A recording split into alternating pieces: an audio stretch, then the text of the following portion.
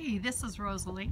I thought I'd show you a video of the upper level Unit 331 that I have for sale here at Port Warren Condos. I want you to see how close it is to the Skipanon Marina. The views here are just breathtaking. The grounds are very nice. You got the tennis court back there. But of course everyone loves being so close to the fishing. So let's show you that. We've got outside lighting, as you can see, and outside seating. The complex has a pool, tennis courts, I mentioned that. The HOA includes many of the uh, utilities you'd normally have to pay yourself.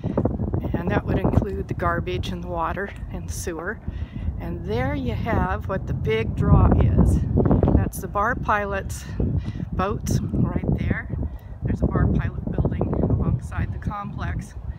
Check out those views. We've got a sea lion. He's laying down. He's resting. He's been having fun catching fish and probably eating them. anyway, I'm going to walk down here and show you.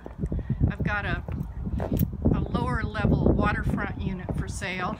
It includes boat slip for 159 It's a great value when you consider you've got your boat right here the best fishing in the Northwest, uh, part of Oregon anyway.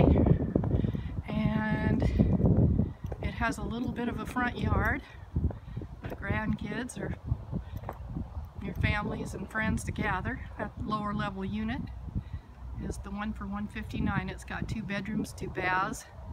Of course, it's got a kitchen and dining and living area and these killer views of the Skipanon Marina and the boat slip.